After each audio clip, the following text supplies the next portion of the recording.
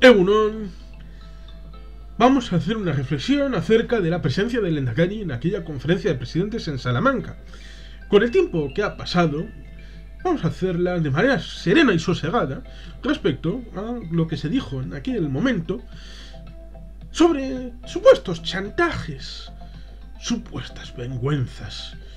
y cosas absolutamente peores respecto al acuerdo, si la conferencia fue un viernes, el sábado estuvo el Endacari en el celebratorio del 31 de julio de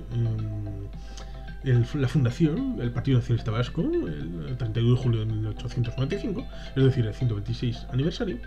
Y digamos que em, el viernes fue la conferencia en Salamanca y el eh, jueves el día antes hubo la eh, conferencia sectorial, es decir, la comisión bilateral del sistema de concierto, la comisión mixta del concierto, para tratar la eh, cuestión legal de la adjudicación, de la gestión de los eh, tributos inventados eh, por el Estado español que deben ser concertados por las administraciones vascas en la Comisión Mixta de Concierto porque el sistema tributario al completo es gestionado por la Hacienda de las Em, zonas forales de las cuatro regiones forales de la nación vasca. Y por lo tanto, era obligatorio que en algún momento se ejecutara, porque eh, eh, las partidas, antes de transferirse formalmente, están incorporadas en un apartado distinto, pero siguen siendo eh, transferidas en el 624, como marca el cálculo del cupo que es bastante fácil de hacer y se puede realizar como lo hacen en las publicaciones de Pedro Luis Uriarte Santa Marina, que fue eh, el presidente de la delegación vasca en la negociación del sistema de concierto y cupo que se firmó el 30 de diciembre de 1980. Digamos que era absolutamente necesario y que mm, se vinculó a la presencia del Endacari en la conferencia de presidentes, precisamente por el hecho de ponerla pared con pared eh, jueves y viernes, cuando debería haberse hecho la comisión mixta de concierto tres o seis meses antes y ahí no habría habido vinculación, aunque seguramente sí hubiera habido malentendidos, tanto en redes sociales como en la prensa, tanto en internet como escrita, por parte de gente que no quiere comprender cuál es el sistema de concierto y cupo vinculado a la Constitución por la disposición adicional primera y la propia realidad del sistema de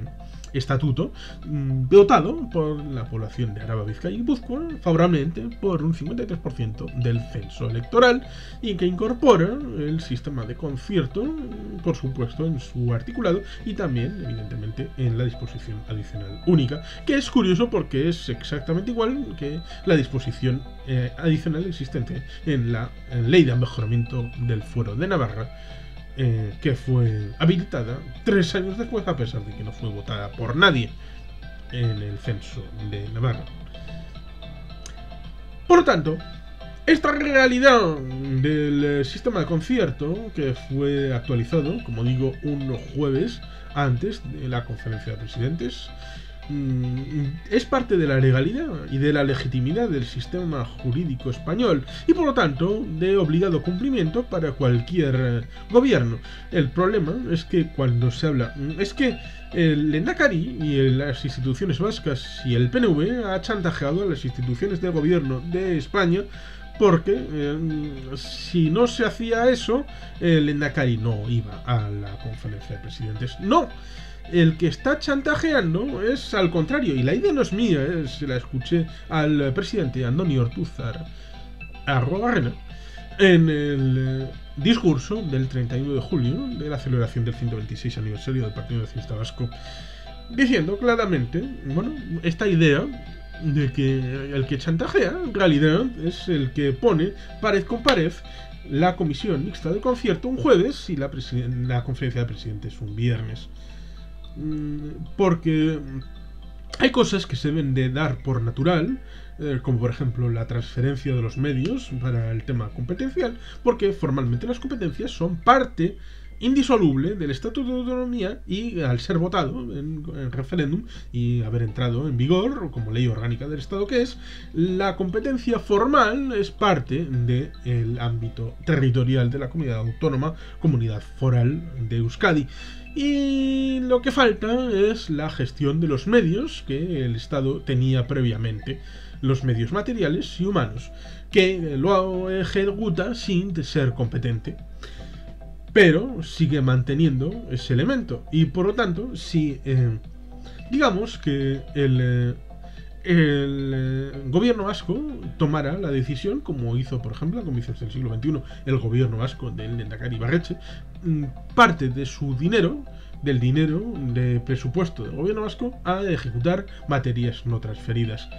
sería una duplicidad porque estaría pagando con el 624 que se envía eh, vía, cupo, se estaría pagando lo que el Estado ejecuta de esa partida en todo el Estado, también en el País Vasco. Y por el otro lado, el presupuesto vasco estaría ejecutando partidas en el territorio vasco de competencias no transferidas. Con lo cual estaría haciendo una duplicidad de gasto con una competencia. Por lo tanto, es necesario la transferencia de los medios y por lo tanto, debido al asunto del sistema de concierto y cupo, hay que tasar bien eh, el eh, dinero que se va a quedar en Euskadi y se va a detraer del pago del cupo. Y por lo tanto mm, hay que hacer orfebrería en la negociación y por eso es difícil en la gestión de las transferencias en el caso de las cuatro hermanas forales. Y por eso, por ejemplo, en el caso de Navarra es complicado el asunto de la gestión de la competencia de tráfico que les corresponde porque fue detraída por el franquismo en 1962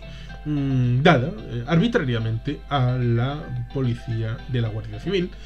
cuando la policía foral realmente nació a comienzos de los años 20 como policía de gestión del tráfico de las carreteras, es decir, era una policía para ese fin y no puede ser indisociable en el presente y en el futuro de ese fin con el que nació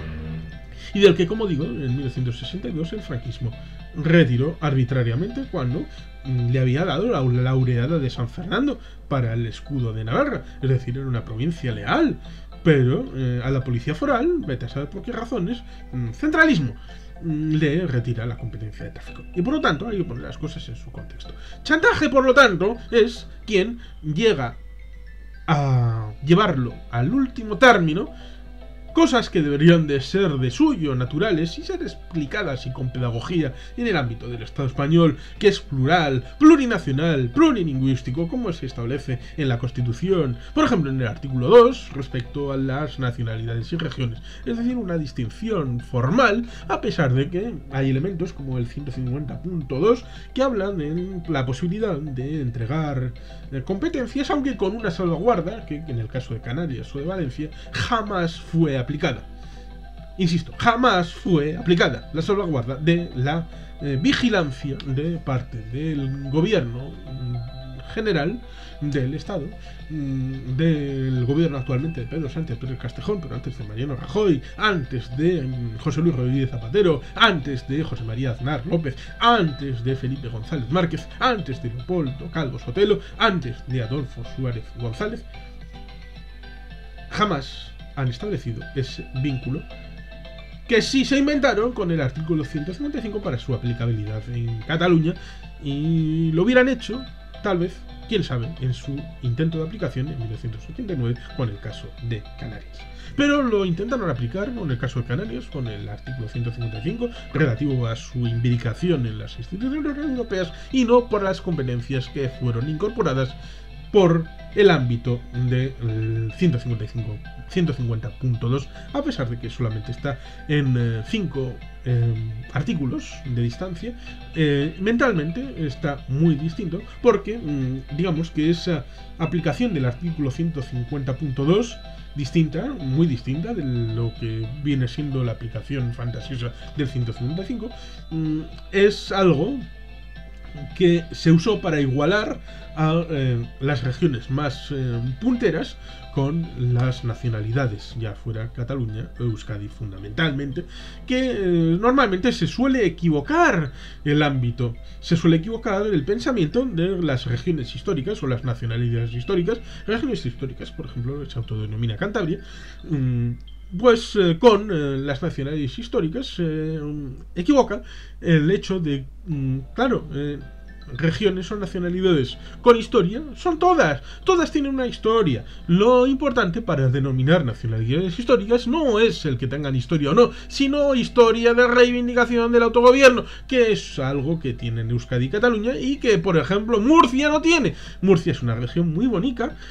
que, por ejemplo, tuvo a bien una gala anual y a veces mucho más mm, en Radio Televisión Española para que la autoestima de los murcianos, gente de bien, se elevara y subiera ahí un, un ánimo grande. Mm, bueno, pues porque nadie es más que nadie, por supuesto. Pero digamos que la reivindicación histórica del autogobierno en Murcia en el siglo XIX y el XX es algo cuestionable cuestionable desde la base de los datos objetivos.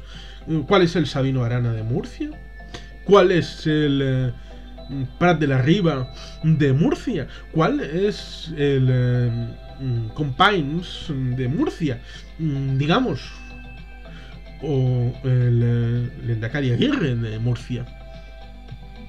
Mm, no, no, no, no es comparable la vocación de autogobierno de los territorios de otros y de ahí viene la diferenciación de nacionalidades y regiones. Y por lo tanto, ese asunto debería estar encima de la mesa. Tanto como la reivindicación que se hizo en redes sociales respecto a la región leonesa, porque se va a Salamanca, pero más allá de ser la plaza nueva mm, herreriana eh, en la que, bueno, pues hay parte de la película de em, em, aquella de Unamuno, de mientras dure la guerra, que es una película recomendable, pues más allá de todo eso hay que recordar que además de la Universidad de Salamanca es parte constituyente de las regiones que en 1833 en aquel malvado reparto de las provincias em, de Javier de Burgos fue premiado convenientemente con un ministerio por hacer aquella salvajada, a pesar de que fue cuestionado en las décadas siguientes con un nuevo reparto de regiones, eh, hasta cuatro, ahí, sin salir del siglo XIX, mm, pues eh, la región leonesa estaba incorporada en la relación con tres provincias, León, Zamora y Salamanca. Y eh, la fórmula de León y Castilla, Castilla y León, está siendo contestada en los últimos tiempos por parte de la región leonesa que quiere incorporarse como 18 comunidad autónoma en base a ese artículo 2 que habla de regiones y nacionalidades, pues se considera que la región de León, en la declarada como tal comunidad birregional, pero nunca ha pasado de los actos literarios a los hechos reales, mm, Castilla mm, se comió y deglutió y derrumbó la región leonesa, que está desaparecida y ni está ni se le espera, a pesar de que llevan la conferencia de presidentes a la región leonesa. Y eso está olvidado, obviado, y se pone precisamente el foco en otras realidades, como por ejemplo el asunto de si iba o no iba el Endacari, y eh, por qué era el asunto. Cuando, como digo, el asunto del chantaje es del que no cumple con la normativa y lo deja a última hora para hacer como que está vinculado una cosa u otra. Cuando eh, lo razonable es decir, hombre, ¿cómo voy a ir yo a la fiesta de alguien que no cumple con las obligaciones mm, que tiene contraídas conmigo? Es como eh, tú eres el casero de alguien que no te mm, debe, debe pagarte el alquiler, pero no te lo paga. Y luego te invita a su fiesta de cumpleaños. ¿Tú irías? ¿Irías a la fiesta de cumpleaños de alguien que no te paga el alquiler? Hombre, no. Primero, que te pague lo que te debe por la vivienda, o por el garaje, o por el trastero, o por lo que tenga alquilado. Y posteriormente ya podemos hablar de otras cosas con normalidad y con alegría. En todo caso, será un problema de él vincular la fiesta de cumpleaños con el pago del alquiler. Si el pago del alquiler te lo da el día anterior, la gente va a pensar que las dos cosas están vinculadas, cuando no es así. Pero más allá de eso está el asunto relativo a la región leonesa y el asunto de, evidentemente, la financiación de las comunidades de régimen común y la propia reglamentación del eh, marco de la mm, conferencia de presidentes, cuando formalmente debería de ser notificada mm, con 20 días y fue con 9, eh, debería de establecerse un marco para la regulación del orden del día, cosa que no se hizo, se hizo mm, deprisa y corriendo, y evidentemente es un marco multilateral cuando la relación de Euskadi con el Estado español es bilateral en su concepción y en su praxis, eh, fundamentalmente basada, por ejemplo, en el sistema de concierto y cupo, y merece la pena ser trasladado eh, al eh, arco político del Estatuto de Autonomía. mm, que debe actualizarse, pero sobre todo porque, claro, las circunstancias han cambiado de 1179 adelante. Eh, por ejemplo, han incorporación a las comunidades europeas que cambió el marco con un nivel superior que evidentemente jerárquicamente y jurídicamente es superior a la propia Constitución española. Mm, por ejemplo, la propia Constitución española nada habla referente a la realidad constante y sonante como eh, esto que tenemos aquí, el euro. Se pone la Constitución española como garante y de competencia exclusiva respecto a la unidad monetaria. Y esto niega la unidad monetaria en el ámbito del Estado español, que fue una realidad desde 1869 en adelante. No desde Atapuerca. No, no, la unidad monetaria del Estado español es desde 1869 hasta el año 2002. La historia tal y como es. Pero bueno, es el, es el asunto de las circunstancias. Eh, es decir, el ámbito europeo ha refutado la Constitución española y no pasa nada. Pero el Estatuto de Autonomía debe de adecuarse eh, más todavía que la Constitución, que es inferior en rango jurídico a las eh, normativas europeas, debe adecuarse en una actualización que debería de recoger esa bilateralidad subordinando el ámbito bilateral a un elemento secundario para el ámbito vasco, teniendo en cuenta, como digo, que el artículo 2 de la Constitución española habla de nacionalidades y regiones. Y por lo tanto, el Endacari actúa en nombre de los vascos cuando eh, tiene la duda de si actuar o no, de si participar o no participar